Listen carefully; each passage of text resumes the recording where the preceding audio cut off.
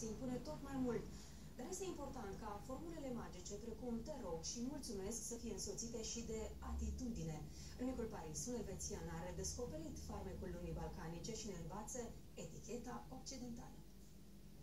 În centrul vechi din capitală se întâlnesc două lumi. Una este cea a chefliilor și una a micului Paris, aceea a eleganței, despre care ar trebui să vorbim ceva mai mult. Cei care țin la etichetă, chiar și în această lume nebună, nebună, nebună, susțin că nimic nu este posibil fără bune maniere. Uneori un mulțumesc sau te rog ne pot schimba viața. Education show, show who you are.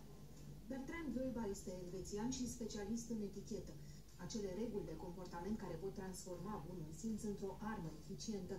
Visul de a aduce educația mai departe l-a purtat în Statele Unite, Orientul Mijlociu și de acum și în România.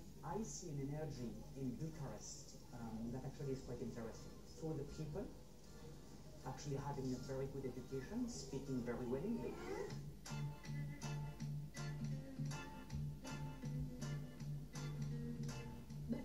Bertrand a venit să țină mici seminarii pentru tinerii români care se pregătesc să studieze în străinătate, în special pentru cei care vor să urmeze cariere în turism, în domeniul financiar bancar sau diplomație. etiquette is not made to be more civilized, to feel more uh, powerful. Etiquette and elegance is not luxury. It's not showing off something that it's to be on the same level of other one, be gentle and kind. I still see in business, again, people want to show off a lot. Atitudinea contează, chiar și atunci când ești la o înghețată. The difference when you eat it like this and with your tongue, because it's not very elegant.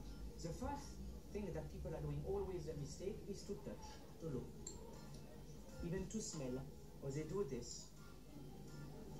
Nimeni nu trebuie să rămână uimit, bunele maniere chiar încep cu cei șapte ani de acasă. What I teach, it is basic manners, easy to learn, and a few things to be elegant, but please don't be too much.